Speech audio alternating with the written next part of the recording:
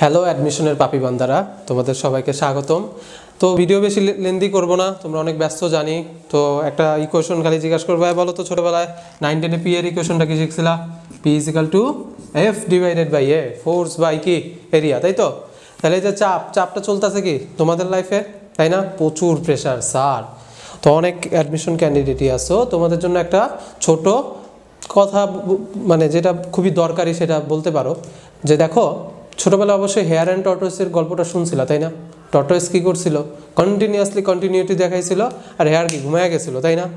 শোনো, একটা কথা বলি, বুয়েটে যারা পরীক্ষা দিতে যাবে, তারা কিন্তু সবাই ওই যে হেয়ারের মতো গাধা না। ওরা কিন্তু ঘুমায়া যাবে না রোডের মাঝখানে। ওরা কিন্তু অবশ্যই কি হেয়ারের স্পিডে চলে আর টর্টোসের মতন কি কনসিস্টেন্ট বুঝতে পারছ? এখন যে বিষয়টা আমি একটু বলতে চাইতাছি, যে ধরো, কথা কথা তোমরা তো জানো, এখানে দুইটা ওয়ার্ড লেখা রাখছি, একটা কি মেডিকেল আর একটা বুয়েট। বলো তো মেডিকেলের পরীক্ষা কবে? ফেব্রুয়ারি নাইন অ্যান্ড বুয়েটের বুয়েটের প্রিলি কবে?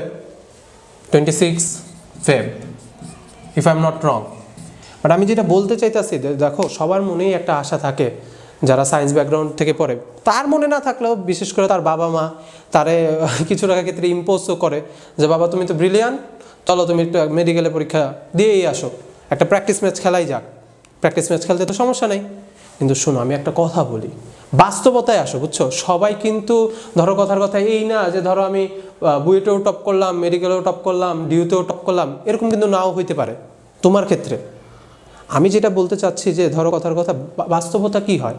যে মেডিকেল পরীক্ষার আট, নয় দিন আগে স্যার আমার বায়োলজি এই তিন মাসে কিছু পড়া হয় নাই। আমি বায়োলজি বই নিয়ে বসছি, একদম কোবায়া দিব স্যার। মেডিকেলেও আমার একটা সাবজেক্ট মানে কোনো একটা মেডিকেল কলেজ চলে আসবে, আবার বুয়েটেও আমি স্যার কোপায়া দিব। কিন্তু বাস্তবতায় আসো তো। আসলে কি সম্ভব? এই কয়েকদিন দিয়ে। আর যদি সম্ভবও হয়ে যায়, তুমি অ্যাকচুয়ালি হইতে চাইতেছো কি? মেডিকেল নাকি বুয়েট? যদি বুয়েটের পাপিবান্দা হইতে চাও তাইলে আমি একটা কথা বলতে চাই তোমার জন্য। এটা সবার জন্য ভিডিওটা না।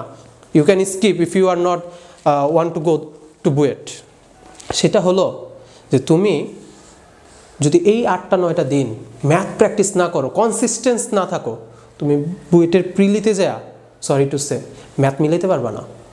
বা মিলাইতে পারলেও আমি একটা কথা বলি, তোমার পজিশনটা না আস্তে আস্তে পিছাও যেতে পারে। কারণ নয় মার্চে আবার কি? রিটেন পরীক্ষা, তাই না? তো যে খেয়াল করে দেখো, বুয়েটে তো অ্যাকচুয়ালি একজনই ফার্স্ট হবে, তাই না? একজনই সেকেন্ড হবে, একজনই দশম হবে, একজনই একশোর মধ্যে হবে। বুয়েটের সব সাবজেক্টই হয়তো বা ভালো, কিন্তু টপ নোট সাবজেক্ট যেটা তোমার এত ছোটোবেলা থেকে এই বারো বছরের পড়ালেখার আশা, হয়তো বা দেখা যাবে কি জানো? তুমি হয়তো বা চান্স পাইছো বুয়েটে, কিন্তু ওই সাবজেক্টটা আর পাইলা না। তখন মনের ভিতরে বুঝছ একটা কষ্ট কিন্তু থেকেই যাবে। তো এই কষ্ট যদি না থাকতে চাও, তুমি যে যদি অ্যাকচুয়ালি বুয়েটের অ্যাডমিশনের জন্য প্রিপারেশন বা প্রিপেয়ার্ড করো নিজেরে, আমি বলব তুমি যদি বাসার প্রেশারের কারণে মেডিকেল পরীক্ষা দিতেও যাও, আমি বলব বায়োলজিটা অত পড়তে না। I request you this one because আমি চাই যে তুমি যদি বুয়েটের জন্য প্রিপারেশন নাও তো অ্যাকচুয়াল প্রিপারেশন নাও।